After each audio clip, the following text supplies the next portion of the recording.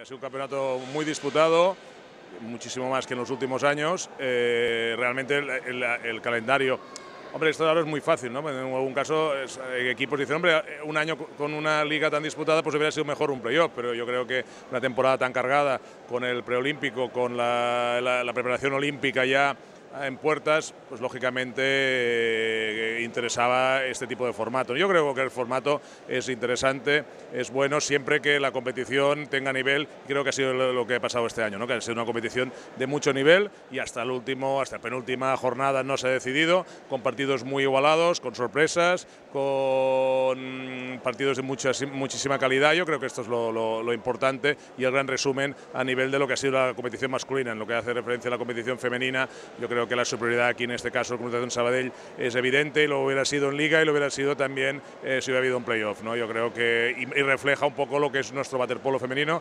actualmente con equipos ya también eh, como el San Andreu, como el, Mataró, también ya eh, subiendo un gran nivel y también de alguna manera eh, suministrando jugadoras a, lo que es el equipo nacional, este gran equipo nacional que ha conseguido por primera vez en su historia la, clasificación olímpica. Y, bien, no sé, que vaya también extendiéndose el waterpolo, que vayan saliendo equipos por toda España y, que el nivel pues, cada vez sea más alto.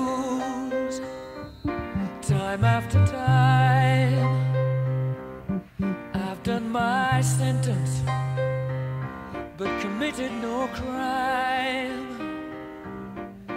bad mistakes. I've made a few. I've had my share of sand kicked in my face, but I've come through. I need to go.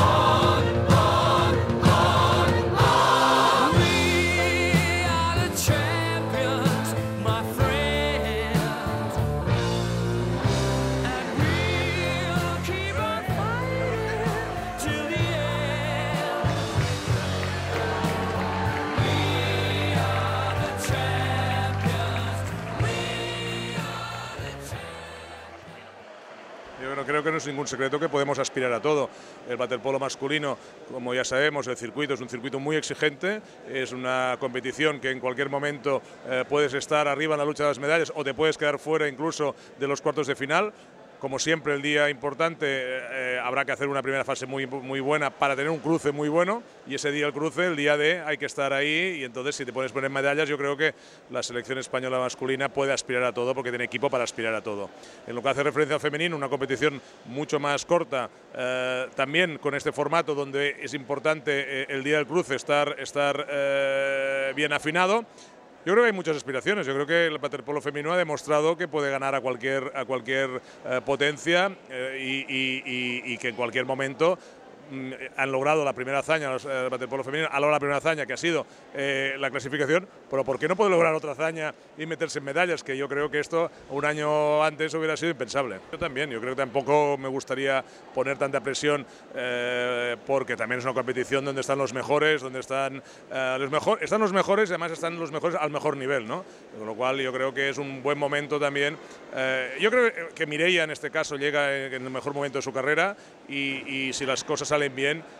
El primer objetivo es estar en las finales ¿eh? y luego, pues el día de las finales, pues estar, nadar en sus marcas. Yo creo que si nada en sus marcas es muy probable que, que, nos dé la alegría de una medalla, que en natación, no olvidemos, es muy, muy, muy, muy difícil. ¿no? Erika yo también creo que también estará, su objetivo es estar en las finales. Luego también Aguas Abiertas pues tienen unas sus aspiraciones.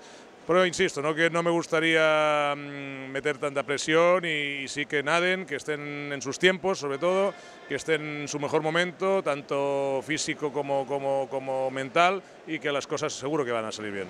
Yo creo que ahí tenemos un reto. ¿eh? El primer reto ahora es la Olimpiada, es Londres 2012, pero luego ya tenemos ahí a la vuelta de la esquina Barcelona 2013, un mundial que jugamos, nadamos en casa y que no podemos fallar. Yo creo que además es una gran ocasión eh, como ya lo fue el 2003 y como lo fue a Barcelona 92 y como ya en la lejanía Madrid 86 para, para promoción de nuestros deportes para éxito de nuestros deportes y para que la gente se aficione, eh, que todos los eh, chicos y chicas que están empezando nuestros deportes en toda España, pues que realmente, realmente vean la grandeza, nuestro nivel y se aficionen. Yo creo que mm, los tiempos son complicados, la, organización de un evento de este tipo pues tiene hoy en día mucha dificultad, pero seguro que va a ser un éxito tanto de organización y un gran éxito deportivo.